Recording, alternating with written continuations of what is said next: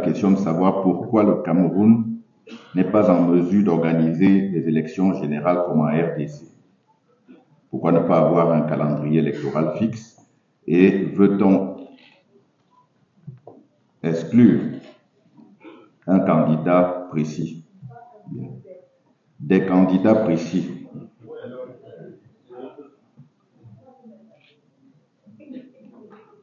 Je pense que l'honorable Nkodo a amorcé euh, une réponse qui me satisfait entièrement, mais j'aurais pu répondre à l'honorable Ngo ici par une boutade pour lui dire que le Cameroun, c'est le Cameroun.